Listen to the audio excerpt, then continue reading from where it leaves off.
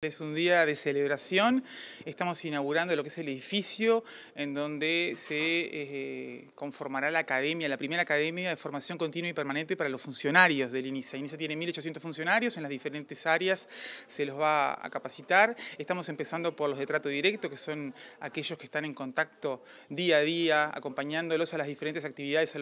los, adolescentes. En, en INISA les llamamos educadores, esos funcionarios son el modelo de adulto más cercano que tiene el joven, así que tiene que transmitirle determinados valores, disciplina, límites. Es una tarea muy específica en la que queremos profesionalizar. Sabemos que vivimos eh, momentos muy cambiantes, tenemos que las leyes cambian, cambian las realidades, hoy tenemos el crimen transnacional organizado que está en nuestro país, así que tenemos que estar actualizándonos permanentemente y bueno, la formación a los recursos humanos, que son el corazón, el motor de cualquier organización, de cualquier institución, nos parece fundamental tener este espacio donde puedan desarrollarse, seguir creciendo, motivarse y, estar actualizados.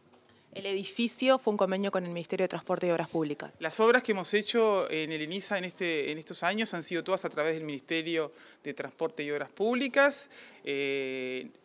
la academia en sí es una idea que surge de la, administración anterior, sin embargo entendimos que había que eh, concretarla y bueno, este es, este es un día muy especial porque estamos concretando lo que es el edificio, este espacio hermoso, nuevo, moderno, en el que van a tener para eh, compartir y para, como decía recién, profesionalizar la tarea que realizan ante los adolescentes, que repercute directamente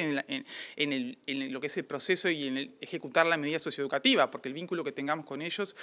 este, es lo que hace transformar sus vidas y que entiendan que el delito no es un camino válido y que van a volver a la comunidad a estar entre todos nosotros como ciudadanos de bien.